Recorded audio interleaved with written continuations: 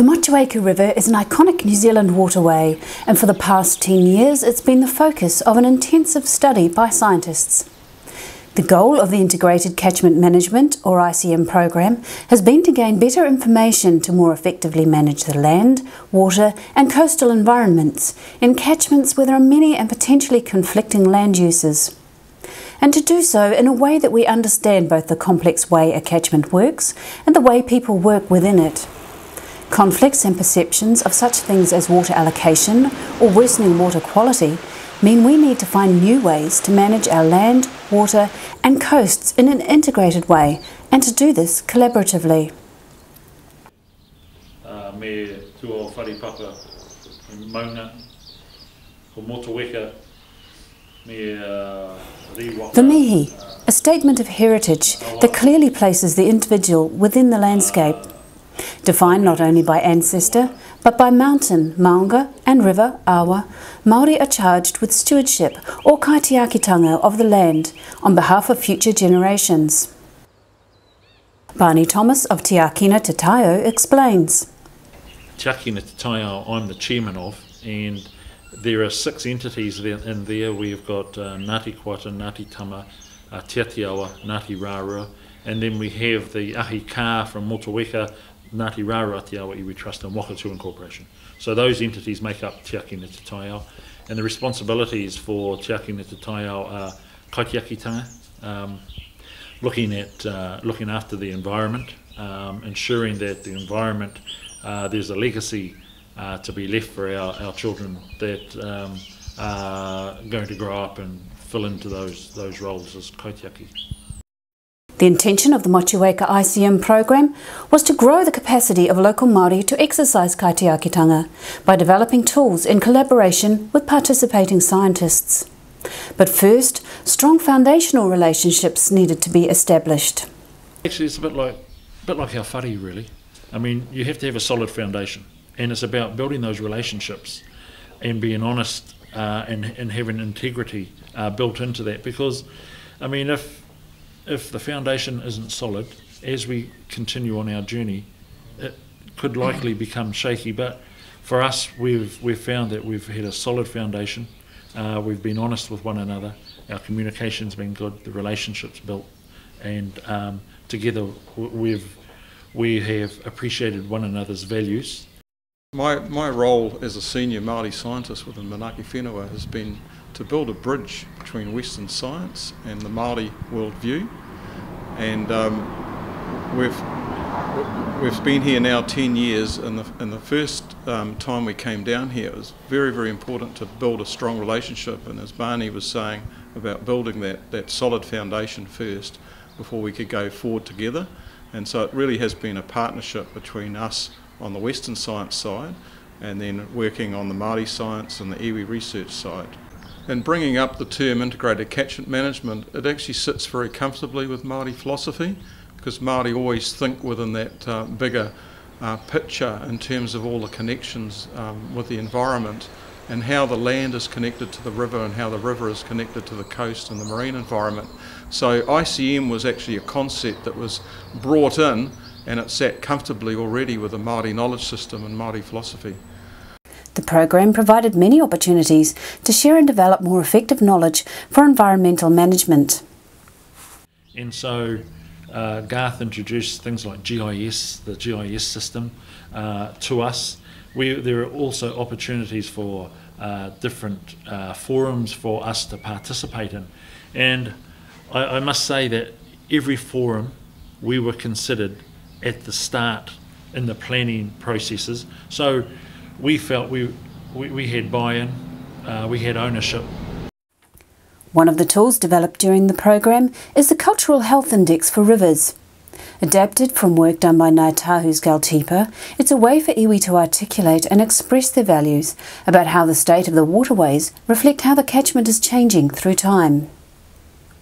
we have this uh, Ngā Atua Kaitiaki framework, which is really the, um, we use six or seven main atua, departmental atua or domain atua.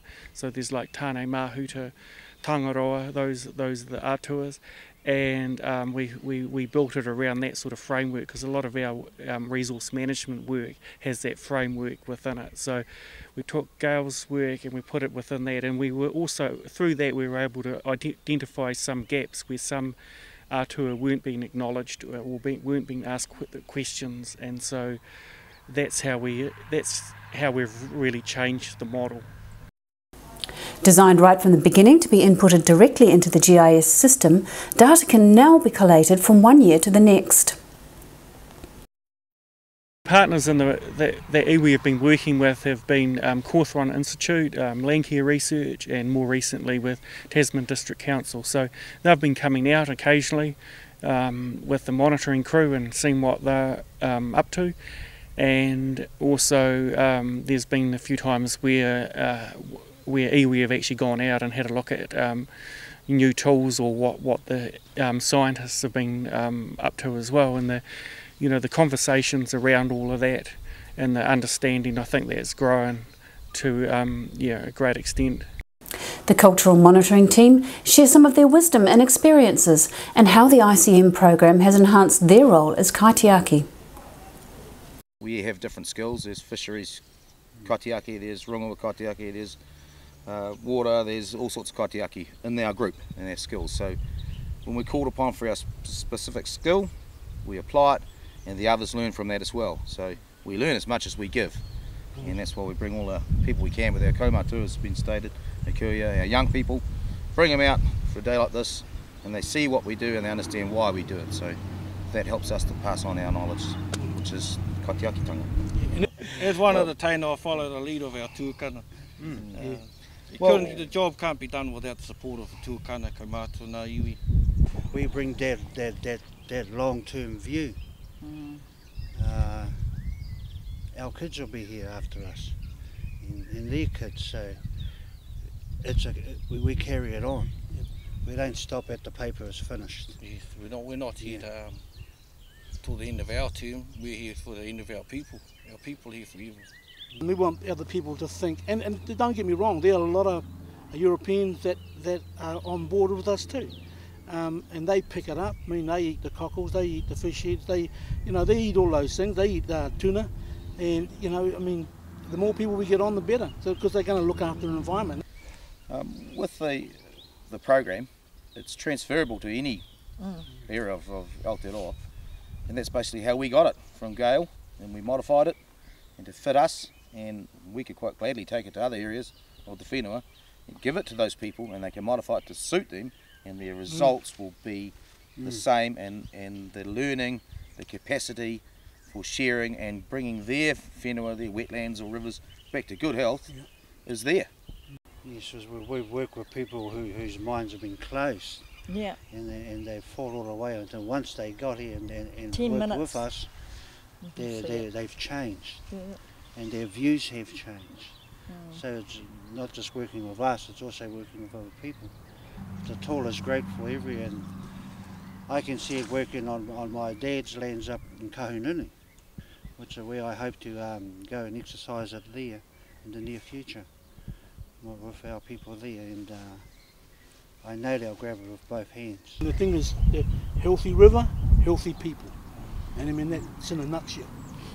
Yeah, so, you know, you've got to keep the rivers healthy. You keep the people healthy. Because our experience of, of uh, having uh, rivers changed on us, wetlands uh, drained, uh, all legislation that's impacted on us, and we've never been able to voice our, our opposition, our opinion clearly enough to have them actually understand us. Well, this project has given us that scientific bite mm. that adds to what we've been saying and now, thankfully, we are starting to be listened to by the bureaucrats, by those in power, and uh, they're coming to our, our worldview, mm. which is very dissimilar, not dissimilar to theirs, mm. when they stop and think about it. So, Well, you can be a kaitiaki, you can be a couch potato, or you can be a, a, a this can be your couch here. You can sit back, do the mahi, do the work, and then you can sit back on one of those tables over there and over a cup of tea on a barbecue and you can look back at what, what you've done that that's the rewarding part is when you can look back and you see what you've done, and it gives you a good feeling in the puku, in the heart. Yeah, tupuna, they were raised in a time when, when, when in their lifetime they could see loss, um, everything deteriorate, having no ability to act or, or, or to restore. Um, our generation, they've, they've kept the battle up no matter what, all the way. For our for us the future, and this is why we're here for our future of our people. And um, now we have a tool which we can use to help us bring back what was lost. Building on the development of the Iwi River Health Monitoring Tool, Tasman District Council wants to roll this program out over different river types. This information can then be used in the Developing Tasman Resource Management Plan, which aims to schedule each waterway's uses and values. Trevor James of the Tasman District Council explains through this process we had a better communication, a tool for communicating better uh, our mutual appreciation of these resources, but also um, their unique uh, values that as a council we need to better uh, acknowledge, recognise and um, to, to, to manage. We need very specific information about specific places and the specific values associated with those places.